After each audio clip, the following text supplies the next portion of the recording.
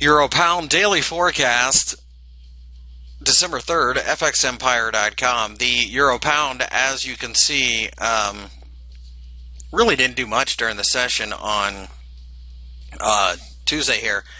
That being the case, um, we feel that the market is just going to hug the 0.79 level. Um, that being the case, uh, we feel that you probably need to um, wait for a longer term signal in order to start buying or selling or whatever.